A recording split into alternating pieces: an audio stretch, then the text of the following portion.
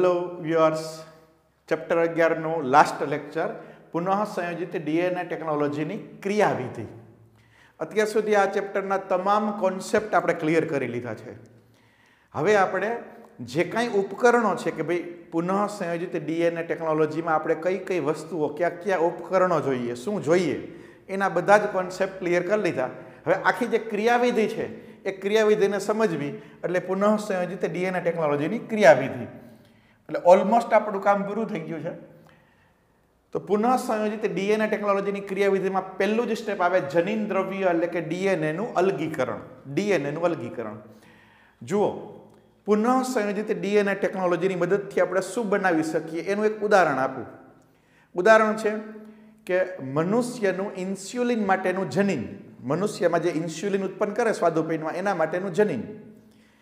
એ આપણે અલગ કરી અને ઈ કોલાઈમાં દાખલ કરી દઈએ. એને આપણે પુનઃ સંયોજન શેમાં કરી દઈએ? ઈસ્ચેરસ્ય કોલાઈ ઈ કોલાઈમાં. અને ઈ કોલાઈ છે, એનું ઔદ્યોગિક રીતે વિકાસ કરી અને એમાંથી માનવ ઇન્સ્યુલિન ઉત્પન્ન કરી શકાય. મનુષ્યનું ઇન્સ્યુલિન આપણે મળે તો આ પુનઃ સંયોજિત ડીએનએ ટેકનિક થઈ કે મનુષ્યનું ઇન્સ્યુલિન જનીન આપણે ઈ કોલાઈમાં દાખલ કરી દીધું. અને હવે ઈ કોલાઈ છે, એ ઇન્સ્યુલિન બનાવશે. પણ એ ઇન્સ્યુલિન કોનું હશે? તો કે મનુષ્યના ઇન્સ્યુલિન જેવું જ ઇન્સ્યુલિન હશે. અને એ ઇન્સ્યુલિનનો આપણે ઉપયોગ ક્યાં કરી શકીએ? તો કે જે ડાયાબિટીસના દર્દીઓ હોય, એના માટે આપણે એનો ઉપયોગ કરી શકીએ. તો પહેલાં તો આપણી પાસે ઈચ્છિત ડીએનએ. ઈચ્છિત ડીએનએ હોવું જોઈએ. ઈચ્છિત ડીએનએ એટલે શું? તો મેં જે એક્ઝામ્પલ આપ્યું, એમાં તમારે શું યાદ રાખવાનું? કે ભાઈ આપણી પાસે ઇન્સ્યુલિન ઉત્પન્ન કરતું જનીન, એટલે કે ડીએનએ હોવું જોઈએ. તો કોઈ પણ અપવાદ વગર, જેને આપણે વાત કરીએ, કોઈ પણ અપવાદ વગર બધા જ સજીવોમાં આનુવંશિક દ્રવ્ય ન્યુક્લિક એસિડ છે. કોઈ પણ અપવાદ વગર બધા જ સજીવોમાં આનુવંશિક દ્રવ્ય ન્યુક્લિક એસિડ છે. એમાંય મોટાભાગના સજીવો હોય તો ડીએનએ. તો શું છે? ડીએનએ અમુક અપવાદમાં શું છે? આરએનએ.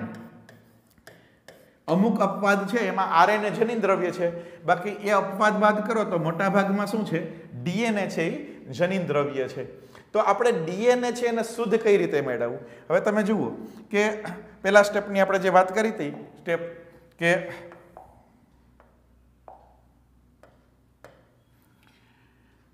ડીએનએ ક્યાં આવેલું હોય તો કે કોઈ પણ કોષ, આ કોષ કેન્દ્ર, આ કોષ કેન્દ્રિકા અને એની અંદર આપણે જોઈએ કે આ રંગસૂત્ર દ્રવ્ય છે, આ રંગસૂત્ર દ્રવ્ય છે. આ રંગસૂત્ર દ્રવ્યમાં ડીએનએ છે ને ડીએનએ નો ખંડ એટલે જનીન. આપણે પહેલાં તો ઈચ્છિત ડીએનએ મેળવવાનું છે. હવે માની લ્યો કે વનસ્પતિ કોષ છે, એ વનસ્પતિ કોષમાંથી આપણે ડીએનએ કાઢવું છે, તો વનસ્પતિ કોષમાં તો ફરતી બાજુ એ સેલ્યુલોઝની કોષ દિવાલ હોય. તો એ કોષ દિવાલ તોડી અને એમાંથી ડીએનએ બહાર કાઢવાનું છે. આપણે કોઈના ઘરમાં લૂંટ કરવી હોય તો એની દિવાલ તોડવી પડે. એમ વનસ્પતિ કોષની કોષ દિવાલ તોડવી પડે. તો આ કોષ દિવાલ તોડવા માટે શું કરવાનું તો કે સેલ્યુલેઝ ઉત્સેચક, સેલ્યુલેઝ જે સેલ્યુલોઝનું પાચન કરી નાખે, એટલે કોષ દિવાલ તૂટી જાય. આ વનસ્પતિ કોષની વાત થઈ. ફૂગનો કોષ હોય તો શું કરવાનું? તો કે ફૂગની અંદર તો કાઇટિનની કોષ દિવાલ હોય. એને તોડી નાખવા માટે કાઇટીનેજ એની સારવાર આપવી પડે. કાઇટીનેઝ એની સારવાર આપવી પડે. કોઈ એમ કહે કે બેક્ટેરિયાનો કોષ છે, એમાંથી મારે ડીએનએ બહાર કાઢવું છે. તો બેક્ટેરિયાની કોષ દિવાલ પેપ્ટિડોગ્લાઇકેનની બનેલી હોય. તો એને તોડવા માટે લાઇસોઝાઇમ લાઇસોઝાઇમ જે લાળ રસમાં હોય, આંખના અશ્રુમાં હોય એ લાઇસોઝાઇમ દ્વારા સારવાર આપવામાં આવે. તો એમ જે પણ કોષ હોય, એ કોષની કોષ દિવાલ તોડી અને એને કોષને તોડી અને એમાંથી આ જનીન દ્રવ્યને અલગ કાઢવામાં આવ્યું. આ જનીન દ્રવ્ય અલગ કરી લીધું. હવે આ જનીન દ્રવ્ય છે, એમાં માત્ર ડીએનએ હોય? ન હોય. એમાં ડીએનએ હોય, આરએનએ હોય, એસિડિક પ્રોટીન હોય, બેઝિક પ્રોટીન એટલે કે હિસ્ટોન પ્રોટીન હોય, આવું બધું હોય. તો આપણે તો માત્ર ડીએનએની જ જરૂર છે, બાકીનું બધું નકામું છે. તો એના માટે શું કરવાનું? તો કે એના માટે પ્રોટીએજ ઉત્સેચક વાપરો. પ્રોટી એજ ઉત્સેચક પ્રોટીએજ ઉત્સેચક શું કરશે? તો કે પ્રોટીનનું પાચન કરીને એને દૂર કરી નાખશે. એટલે પ્રોટીન દૂર થઈ ગયું, પછી હિસ્ટોન પ્રોટીન હોય કે અન્ય પ્રોટીન હોય. હવે એમાં આરએનએ પણ છે. તો આરએનએને કઈ રીતે દૂર કરશું? તો કે આરએનએ જ ઉત્સેચક. આરએનએ જ ઉત્સેચક આરએનએને દૂર કરી નાખે. તો આરએન એઝ આરએનએને દૂર કરી નાખે. આ બધું જ દૂર થાય ત્યારે છેવટે જે વધે, એ છેવટે વધે એ શું હોય માત્ર ડીએનએ. માનવ કોષમાં કેટલા હોય? ત્રણ પોઈન્ટ બે મીટર લાંબો ડીએનએ હોય. આ ડીએનએ મળી ગયું. તો આ રીતના કોષમાંથી ડીએનએ આપણે મેળવવું પડે. આ ડીએનએને શુદ્ધ સ્વરૂપે મેળવવા માટે એને ઠંડા ઇથેનોલમાં ઉમેરવું પડે. શેમાં? ઇથેનોલ. ઠંડો ઇથેનોલની અંદર ઉમેરી દો એટલે એના અવક્ષેપ આવે, સફેદ અવક્ષેપ આવે. એટલે ડીએનએના તંતુ તમને દેખાય. તો આ રીતના આપણે ડીએનએ મળ્યું. હવે આ જે ડીએનએ આપણે પ્રાપ્ત થયું એ તો આખે આખું ડીએનએ છે. આપણે તો એમાંથી એક ખંડ એટલે કે ચોક્કસ ભાગ જ જોઈએ છે. તો એ ડીએનએના ટુકડા કરવા પડે. એ ટુકડા કરવા માટે આપણી પાસે શું છે એ આપણે ભણી ગયા છે. હવે તમને કહેવાની જરૂર નથી. રિસ્ટ્રિક્શન એન્ડોન્યુક્લિએજ તો રિસ્ટ્રિક્શન એન્ડોન્યુક્લિયસથી ડીએનએના ટુકડા કરી દીધા. હવે આ જે ડીએનએના ટુકડા થયા, એને જુદા પાડવા માટે શું કરવું એ પણ આપણે ભણી ગયા. જેલ ઇલેક્ટ્રોફોરેસિસ, જેમાં એક બાજુ ધન વીજભાર હોય અને ડીએનએ ઋણ વીજભાર ધરાવે, તો એનું ધન વીજભાર તરફ સ્થાનાંતર થાય. ડીએનએના ટુકડા આ બાજુ સ્થાનાંતરિત પામે. કોને આધારે? કદને આધારે? આ રિવિઝન છે બધું. કદને આધારે? તો કદને આધારે ડીએનએ છૂટો પડે. આમ, આપણે જે જોતું હોય એવું ઈચ્છિત ડીએનએ છે એ આપણને પ્રાપ્ત થઈ ગયું. આ પહેલું સ્ટેપ ડીએનએનું અલગીકરણ. કોષની અંદર ડીએનએ હતું. હવે જો કોષ વનસ્પતિ કોષ હોય તો સેલ્યુલેજની સારવાર, ફૂગનો કોષ હોય તો કાઇટિનેજની સારવાર આપવામાં આવે, એની મદદથી તોડવામાં આવે. બેક્ટેરિયાનો કોષ હોય તો લાઇસોઝાઇમ, લાઇસોઝોમની, લાઇસોઝાઇમની સારવાર આપવામાં આવે. આ રીતના એમાંથી રંગસૂત્ર દ્રવ્ય અલગ કરીએ.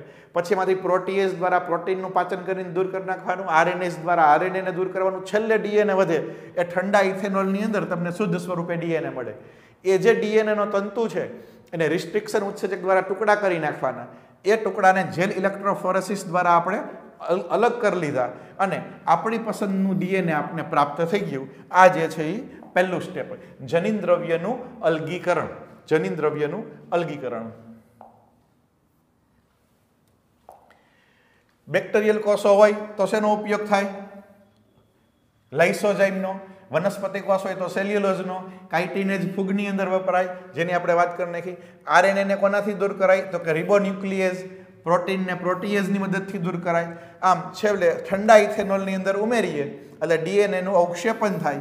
આમ ડીએનએ પ્રાપ્ત થાય. ડીએનએનો સમૂહ આપને પ્રાપ્ત થાય. ત્યાર પછી આ શુદ્ધ ડીએનએ અણુના ટુકડા કરવા છે. એના માટે રિસ્ટ્રિક્શન ઉત્સેચક જે આપણે ભણી ગયા.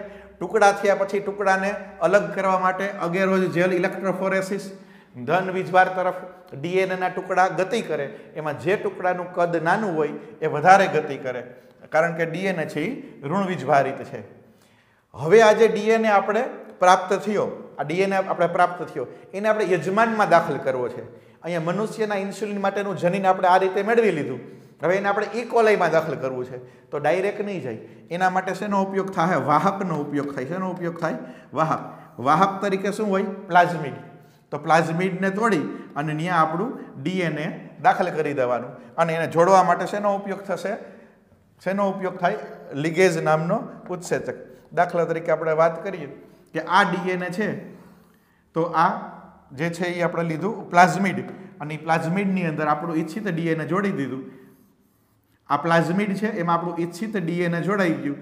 તો આને કહેવાય આર ડીએનએ આને શું કહેવાય? પુનઃ સંયોજિત ડીએનએ. જોડવા માટે કયો ઉત્સેચક? ડીએનએને જોડવા માટે ડીએનએ લાઇગેજ ઉત્સેચક જવાબદાર છે. આ પણ આપણે ભણી ચૂક્યા છીએ. આપણે જે ભણ્યા છે એને ક્રમમાં ગોઠવવાનું.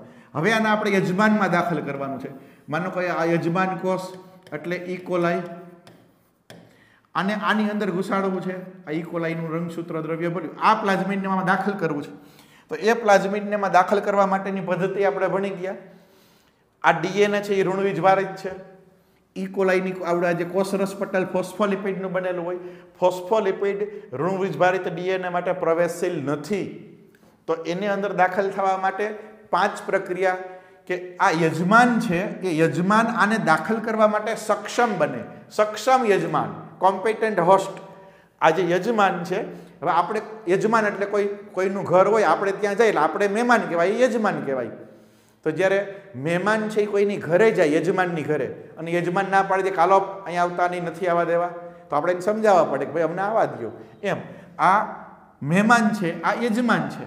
તો યજમાનની અંદર ડીએનએને દાખલ કરવા માટેની પાંચ પદ્ધતિ આપણે ભણી ગયા. યાદ હોય તો પાછું રિપીટ કરાવો પહેલી પદ્ધતિ, કે આને કેલ્શિયમમાં મૂકવાનું. કેલ્શિયમ આયન કોષરસ પટલની પ્રવેશશીલતા વધારે. પછી બરફમાં મૂકો, ગરમ કરો, પાછું બરફમાં મૂકો. એટલે પ્રવેશશીલતા વધે એટલે આની અંદર દાખલ થાય. તો કેલ્શિયમ આયનની હાજરીમાં કોષરસ પટલમાંથી પ્રવેશશીલતા વધી અને આપણું જે આર ડીએનએને એમાં દાખલ કરી શકીએ. બીજી પદ્ધતિ, બીજા નંબરની પદ્ધતિ તો કે આની ફરતે લિપિડનું આવરણ, આની ફરતે શું કરી દેવાનું? લિપિડનું આવરણ કરી દેવાનું. માની લો કે આ લિપિડનું આવરણ થઈ ગયું ફરતી બાજુ. તો હવે આ લિપિડ છે, આ લિપિડ છે તેમાં દાખલ થઈ જાય. લિપિડ છે લિપિડ માટે પ્રવેશશીલ છે. એટલે કોષરસ પટલને છેતરી લેવાનું. હે? પાકિસ્તાનમાંથી આતંકવાદી જ્યારે ભારતમાં ઘૂસે, એટલે કહીને આવે કે હું આતંકવાદી છું, અહીં આવું છું, એમ ના આવે. એ કેવા આવે? છુપા વેસે આવે વેશ પલટો કરીને આવે. પોતાનો હોલિયો બદલી નાખે. એમ. આ જે પ્લાઝમિડ ડીએનએ છે ડીએનએ નથી દાખલ થવા દેતું, તો માથે લિપિડનું આવરણ કરી દીધું. અને લિપિડના વેશમાં દાખલ થઈ જાય. તો એ બીજી પદ્ધતિ. ત્રીજી પદ્ધતિ કોઈને યાદ હોય તો માઇક્રો ઇન્જેક્શન. સૂક્ષ્મ અંતઃક્ષેપણ દ્વારા દાખલ કરી શકાય. એ ત્રીજી પદ્ધતિ હતી. ચોથી પદ્ધતિ છે અને ઇલેક્ટ્રિક કરંટ આપવામાં આવે. વિદ્યુત છિદ્રતા, ઇલેક્ટ્રોપોરેસિસ, પોર એટલે છિદ્ર, ઇલેક્ટ્રોપોરેસિસ, વિદ્યુત છિદ્રતા. અને ઇલેક્ટ્રિક કરંટ આપીએ એટલે આમાં છિદ્ર પડે ને છિદ્રમાંથી દાખલ થઈ જાય. અને પાંચમી પદ્ધતિ હતી કે આની ઉપર સોનાનું આવરણ ચડાવી દેવાનું અથવા ટંગસ્ટનનું આવરણ ચડાવી દેવાનું. સોનું અથવા ટંગસ્ટન. અને એની મદદથી આમાં દાખલ કરવા માટે ગનનો ઉપયોગ થાય. એને કહેવાય જીન ગન, બાયોલાસ્ટિક અથવા જીન ગન. અને વેગની મદદથી કે તીવ્ર વેગ તીવ્ર વેગથી આને ફટકારવામાં આવે એટલે આ ડીએનએ આની અંદર દાખલ થઈ જાય. આ ચારમાંથી કોઈ પણ પદ્ધતિ દ્વારા આપણું જે ડીએનએ છે, એ ડીએનએ છે ક્યાં દાખલ થઈ જાય છે? માની લો કે આ ઈ કોલાઈમાં દાખલ થઈ ગયો. ઈ કોલાઈની અંદર આપણું ડીએનએ છે દાખલ થઈ ગયું. આ વાહક સાથે. આ વાહક છે. આ આમાં દાખલ થયું. આ દાખલ થયું એટલે એને કહેવાય ટ્રાન્સફોર્મેશન. એને શું કહેવાય? ટ્રાન્સફોર્મેશન. આ બધું જ આપણે ભણી ગયા છે તો આને ટ્રાન્સફોર્મેશન કહેવાય. ને હવે આ જે કોષ છે એને શું કહેવાય? ટ્રાન્સફોર્મન્ટ ટ્રાન્સફોર્મન્ટ તો એ જે ટ્રાન્સફોર્મન્ટ ટ્રાન્સફોર્મેશન થયું છે કે નથી થયું? પુનઃસંયોજન થયું છે કે નથી થયું? ખબર કેમ પડે? એમ કેમ કહી શકાય કે આ પ્લાઝમિડામાં દાખલ થઈ જ ગયું છે? એ ખબર કેમ પડે? તો એ પણ આપણે ભણી ગયા છીએ. સિલેક્ટેબલ માર્કર પસંદગીમાન રેખક. કે પસંદગીમાન રેખક એટલે એન્ટીબાયોટિક રેઝિસ્ટન્સ એમ્પિસિલિન ટેટ્રાસાયક્લિન, નિવેશી નિષ્ક્રિયતા, કોઈ પણ મેથડથી આપને ખબર પડે કે આ આમાં દાખલ થઈ ચૂક્યું છે. તો આ પુનઃસંયોજિત ડીએનએ ટેકનિકની ક્રિયાવિધિમાં આ બધી જ વસ્તુ આવે.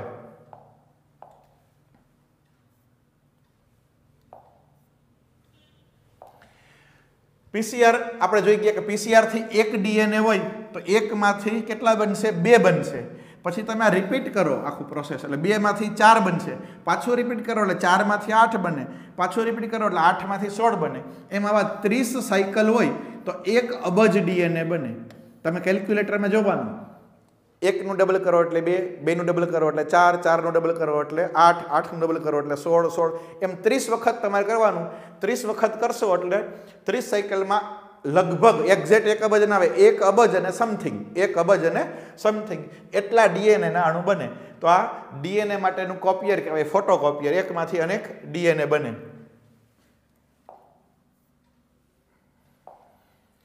યજમાન કોષ કે સજીવમાં પુનઃ સંયોજિત ડીએનએનો પ્રવેશ. એ પણ કહી દીધું. યજમાન કોષમાં પુનઃ સંયોજિત ડીએનએના પ્રવેશ માટે આપણી પાસે શું હતું? વિદ્યુત છિદ્રતા, લિપિડનું આવરણ ટંગસ્ટન અથવા સોનાના આવરણ દ્વારા જીન ગન, પછી કેલ્શિયમ આયનની સારવાર અને સૂક્ષ્મ અંતઃક્ષેપણ એટલે કે માઇક્રો ઇન્જેક્શન પાંચમાંથી કોઈ પણ પદ્ધતિ દ્વારા આપણે એમાં દાખલ કરી શકીએ. પછી દાખલ થયું છે કે નહીં એની કસોટી કોના દ્વારા થાય? તો કે એના માટે આપણે પસંદગીમાન રેખક, એટલે કે સિલેક્ટેબલ માર્કર જે આપણે કહીએ કે એમ્પીસિલિન છે ટેટ્રાસાઇક્લિન છે વગેરે, એના દ્વારા આપણે એને પસંદગી કરી શકીએ, જેને આપણે પસંદગીમાન રેખક અથવા તો સિલેક્ટેબલ માર્કર કહેવાય, અને જેના વિશે આપણે મેં બહુ ડિટેલની અંદર અભ્યાસ કરી ચૂક્યા છે. હવે, દાખલ થયા પછી શું? તો કે વિદેશી જનીનની નિપજ મેળવવી હવે આપણે અહીંયા જોઈએ કે આ આપણું જનીન છે, એ દાખલ થઈ ગયું છે. આ જનીન કેના માટેનું છે? ઇન્સ્યુલિન માટેનું જનીન છે, બરાબર?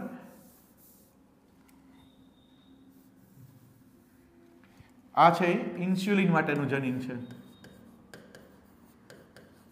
માની લો કે આપણે ઇન્સ્યુલિન માટેનું આ જનીન છે, આમાં દાખલ કર્યું હતું.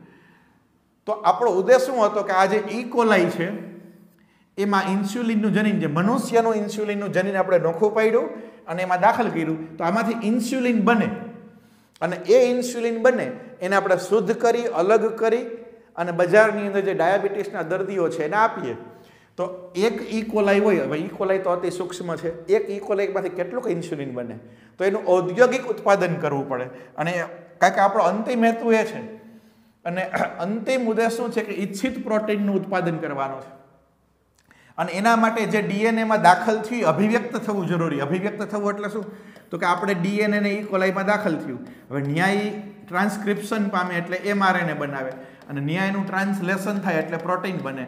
આને સેન્ટ્રલ ડોગમાં પ્રસ્થાપિત પ્રણાલી કહેવાય. DNA, RNA, protein. એટલે એને અભિવ્યક્ત થયું કહેવાય. એના લક્ષણો અભિવ્યક્ત થયા. મનુષ્યનું ઇન્સ્યુલિન માટેનું જનીન આપણે ઇકોલાઈમાં દાખલ કરી દીધું. હવે ન્યા જઈને અભિવ્યક્ત થાય એટલે કે ન્યા ઇન્સ્યુલિન બને. એ, તો એ અભિવ્યક્ત થવું જરૂરી છે. અને જો અભિવ્યક્ત થાય, તો જ એને પુનઃ સંયોજિત પ્રોટીન કહેવાય. તો જ એને શું કહેવાય? પુનઃ સંયોજિત પ્રોટીન. હવે આ માટે એને નાના પાયે પ્રયોગશાળામાં ઉછેરવામાં આવે. નાના પાયે પ્રયોગશાળામાં ઉછેરે તો કોને પૂરું થાય? આ પ્રયોગ માટે બરોબર. પણ ઔદ્યોગિક ઇન્ડસ્ટ્રીયલ પ્રોડક્શન કરવું હોય, તો પછી એને મોટા પાયે એનું સંવર્ધન માધ્યમનો ઉપયોગ કરી અને એનો ઉછેર કરી શકાય. અને પછી એનું અલગીકરણ કરવું પડે, એટલે એમાંથી ઇન્સ્યુલિનને અલગ કરવું પડે અને અલગ કર્યા પછી એને પણ શુદ્ધ કરવું પડે એટલે કે એનું શુદ્ધિકરણ કરવું પડે. એ બે પ્રોસેસમાંથી એને પસાર થવું પડે. કોષોને સતત સંવર્ધન તંત્રમાં ગુણિત કરી શકાય. સંવર્ધન તંત્રમાં જે ઇકોલાઈ હોય એકના બે, બેના ચાર, ચારના આઠ, મેં કીધું હતું કે એક અબજ થઈ જાય. ત્રીસ વખત આવી રીતના સાયકલ થાય તો એક અબજ ઇકોલાઈ થઈ જાય. એમ કારણ કે બેક્ટેરિયા છે દ્વિભાજન પામે. દ્વિભાજન, એકના બે, બેના ચાર એમ. તો ખૂબ જ મોટી સંખ્યામાં એને કે ગુણિત કરી શકાય. હવે એના માટે જે માધ્યમ હોય એ માધ્યમ નાખતું જવાનું, કાઢતું જવાનું, માધ્યમ નાખતું જવાનું, કાઢતું જવાનું. એટલે કે વપરાયેલા માધ્યમને એક બાજુએથી બહાર કાઢી શકાય અને બીજી બાજુએથી તાજું માધ્યમ, એટલે અગાર અગાર ઝેર કે કોઈ પણ માધ્યમ હોય, એ દાખલ કરવામાં આવે. જેથી કોષ પોતાની દેહધાર્મિક રીતે સક્રિય સ્વરૂપે એની વિકાસ જળવાઈ રહે, એનો વિકાસ થયા જ રાખે. કોઈ પણ અગાર અગાર માધ્યમમાં ઇક્વલાઈની વૃદ્ધિ થઈ, એટલા બધા ઇકોલાઈ થઈ ગયા કે માધ્યમ ખાલી થઈ ગયું. તો એને બીજા માધ્યમમાં મૂકવાનું, એટલે કે નવું માધ્યમ નાખવાનું, જૂનું કાઢી લેવાનું, નવું માધ્યમ મૂકવાનું, જૂનું કાઢી નાખવાનું. હવે ઓછી માત્રા ધરાવતા સંવર્ધનમાં પર્યાપ્ત માત્રામાં ઉત્પાદન ન થાય. નાનું એવું હોય તો શું ઉત્પાદન થાય? તો વ્યાપક સ્તરે જૈવ ભઠ્ઠીનો ઉપયોગ થાય બાયો રિએક્ટર વ્યાપક સ્તર એટલે કે ભાઈ ટન મોઢે એનું પ્રોડક્શન કરવું છે, બે ચાર, આટલુંક નહીં એમ. તો એના માટે બાયો રિએક્ટર એટલે કે જૈવ ભઠ્ઠીનો ઉપયોગ થાય. અને એમાં એક હજાર લીટરથી પણ વધારે એની કેપેસિટી આવેલી હોય. એને આ જૈવ ભઠ્ઠી એક વેસલ્સ એટલે કે વાસણ છે. અને જેની અંદર સૂક્ષ્મ વનસ્પતિ, પ્રાણી અથવા માનવ કોષોનો ઉપયોગ કરી રો મટીરિયલ તરીકે અને એનો ત્યાં વિકાસ અથવા તો વૃદ્ધિ થાય. અત્યારે આપણે જે ઉદાહરણ આપ્યું, એ પ્રમાણે ઇકોલાઈની વૃદ્ધિ થાય, એમ પણ કહી શકાય. જો આ જૈવ ભઠ્ઠી છે ઇન્ડસ્ટ્રીયલ જૈવ ભઠ્ઠી છે આખી. આ જૈવ ભઠ્ઠી છે, મોટા પાયા. સર્વાધિક ઉપયોગમાં લેવામાં આવતું બાયોરિએક્ટર છે સ્ટીયરિંગ પ્રકારનું. હોય સ્ટીયરિંગ એટલે એમાં હલાવવું પડે દૂધ પાક બનાવીએ તો હલાવવો પડે, નહીં તો નીચે દૂધ બેસી જાય, જામી જાય એમ. તો જેમ કે હલાવવું પડે. એમ આખું જે માધ્યમ છે એને સતત હલાવવું પડે, આંદોલિત કરવું પડે, એટલે કે સ્ટીયરિંગ પ્રકારનું હોય છે. એના માટે એમાં મિશ્રક આવેલો હોય. મિશ્રણ કર્યા રાખે આમ, મિશ્રક. બીજું એને ઓક્સિજન પણ ઉપલબ્ધ કરાવવો પડે. ઝારક શોષણ કરતા બેક્ટેરિયા હોય તો એને પર્યાપ્ત માત્રામાં ઓક્સિજન છે એ પણ એમાં દાખલ કરવો પડે. એટલે કે સમયાંતરે હવા દાખલ કરવી પડે બાયો રિએક્ટરની અંદર. આ બધી એની અંદર વિશેષતા આવેલી હોય બાયો રિએક્ટરની જૈવ ભઠ્ઠીની રિએક્ટરમાં આંદોલક હોય, આંદોલક અથવા તો મિશ્રક. જો આવડું આજે આમ ચાર ચોકડી ચોકડી છે એમ ગોળ ગોળ ગોળ ફરતું હોય, ફરે એટલે બધું મિક્સ થયા રાખે. આમ જો બતાવ્યું છે આમ. મિક્સ થયા રાખે. પછી ઓક્સિજન વિતરણ તંત્ર હોય, એની અંદર આપણે ઓક્સિજન આપી શકીએ, એના માટેનું તંત્ર હોય. એમાં જે ફીણ ઉત્પન્ન થઈ તો ફીણ નિયંત્રણ તંત્ર હોય. તાપમાનનું નિયંત્રણ થાય એવી વ્યવસ્થા હોય. એની એસિડ અને બેઝ એટલે કે પીએચનું નિયંત્રણ થાય એવી વ્યવસ્થા હોય. તો આ બધી જ વ્યવસ્થા જૈવભટ્ટીમાં હોય. દબાણ પણ હોઈ શકે દબાણ કેટલું છે એનું પણ માપન થઈ શકે. તો, અને એમાં કોઈ એક એવો નોબ હોય, એમાંથી આપણે માધ્યમને બહાર કાઢી શકીએ. અહીંથી દાખલ કરવામાં આવતું હોય તો કોઈ જગ્યાએથી માધ્યમને બહાર કાઢી શકીએ. એવી પણ વ્યવસ્થા હોય આની અંદર કે ભાઈ દાખલ કરો, બહાર કાઢો, દાખલ કરો, બહાર કાઢો. આ બધી વ્યવસ્થા હોય બાયોરિએક્ટરની અંદર. છેલ્લું આવશે અનુપ્રવાહિત પ્રક્રિયા ડાઉનસ્ટ્રીમ પ્રોસેસિંગ ડાઉનસ્ટ્રીમ પ્રોસેસિંગ એટલે શું? કે કોઈ પણ પ્રોડક્ટ કોઈ પણ કંપનીમાં કોઈ પણ પ્રોડક્ટ બની જાય એટલે અહીંયા પૂર્ણ વિરામ નથી આવતું. ત્યાર પછી પ્રોસેસ કરવી પડે. માની લો કે કોઈ ફાર્મા કંપની હોય, દવા બનાવતી કંપની હોય, તો એ પોતે જે દવા બનાવે એ દવાનું પ્રોડક્શન થઈ ગયું એટલે દવા બની ગઈ એટલે ત્યાં પર્યાપ્ત નથી થતું. એ જે દવા બની છે, એ જે પ્રોડક્ટ બની છે, એ આપણે જે બનાવી હતી એ જ બની છે, કંઈક બીજું બની ગયું. તો એની ક્વોલિટી ચકાસવી પડે. એની શુદ્ધતા ચકાસવી પડે. આ બધી પ્રક્રિયા છે એને ડાઉનસ્ટ્રીમ પ્રોસેસિંગ કહેવાય. પછી ભવિષ્યમાં એ બગડે નહીં એટલે એનું એમાં એને પ્રિઝર્વ કરવી પડે. પ્રિઝર્વેટિવ નાખી એનું રક્ષણ કરવું પડે. એનું પેકિંગ કરવું પડે. તો પ્રોડક્ટ બન્યા પછીની પ્રક્રિયા છે એને ડાઉનસ્ટ્રીમ પ્રોસેસિંગ કહેવાય. દાખલા તરીકે આલ્કોહોલ બનાવતી કંપની હોય, એ આલ્કોહોલ બનાવે. આપને ખબર કે આથવણની ક્રિયાથી ઇથાઇલ આલ્કોહોલ બને. ઇથાઇલ આલ્કોહોલ એટલે કે દારૂ બન્યું. પણ માની લો કે પ્રક્રિયામાં ખામી આવી ગઈ અને ઇથેનોલની બદલે મિથેનોલ બની જાય. અને લોકો જોયા વગર બોટલ ભરી ભરીને વેચી દે તો મિથેનોલ ઝેરી હોય. માણસો મૃત્યુ પામે. એવી ઝેરી શરાબ પીએ તો માણસોનું મૃત્યુ થઈ જાય. એટલે જે બને એ ઇથેનોલ જ બન્યું છે ને, બીજું નથી બન્યું ને, એની કસોટી કરે. આ બધું જ એમાં આવે. તો કે કોઈ પણ જૈવ સંશ્લેષિત તબક્કો પૂર્ણ થાય, એટલે માર્કેટમાં મોકલતા પહેલાં એને શૃંખલામય પ્રક્રિયામાંથી પસાર થાય. શું? તો કે અલગીકરણ કરવું. દાખલા તરીકે આપણે કીધું કે જૈવ ભઠ્ઠીમાં ઈ કોલાઈનો ઉછેર થયો. મોટા પાયે ઉછેર થયો. પછી એમાંથી આપણે ઇન્સ્યુલિન મેળવું તો આપણે માત્ર ઇન્સ્યુલિન જ લેવાનું છે. બીજી કોઈ વસ્તુ લેવાની નથી. તો એને ઇન્સ્યુલિનને અલગ કરવું ઇકોલાઈમાંથી અલગ કર્યા પછી ઇન્સ્યુલિનને શુદ્ધ કરવું એટલે શુદ્ધિકરણ કરવાનું. તો આ બધું જ કેમાં આવે? અનુપ્રવાહ એટલે કે ડાઉનસ્ટ્રીમ પ્રોસેસિંગમાં ત્યાર પછી પરિરક્ષકોથી પરિરક્ષિત કરાય. પરિરક્ષકોથી પરિરક્ષિત કરાય. એટલે કે પ્રિઝર્વેટિવથી પ્રિઝર્વ કરાય. પ્રિઝર્વેટિવથી પ્રિઝર્વ કરાય. એટલે કે લાંબો સમય સુધી બગડે નહીં. આપણે બપોરે ભોજનમાં સબ્જી બનાવી હોય, તો પછી આપણે સાંજે કે બીજે દિવસે કેમ ફેંકી દઈએ? કે અઠવાડિયું સુધી ન ચાલે કે દસ દિવસ સુધી નથી ચાલતી, ખરાબ થઈ જાય.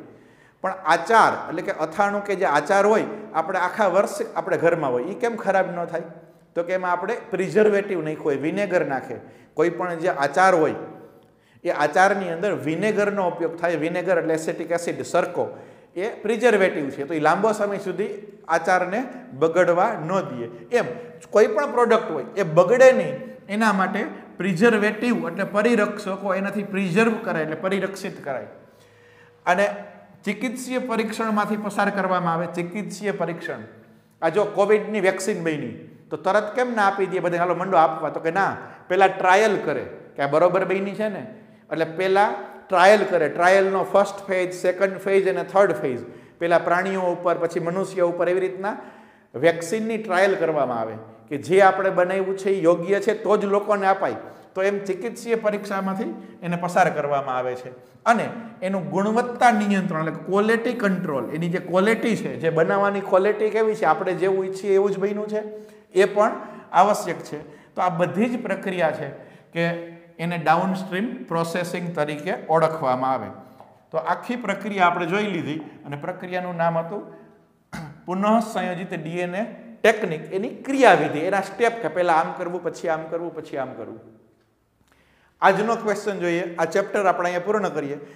આ જ ચેપ્ટર સમજવાનું હતું. આ જ ચેપ્ટર છે એ સમજવાનું હતું. આના પછીનું જે ચેપ્ટર છે એ માત્ર આના ઉપયોગ છે.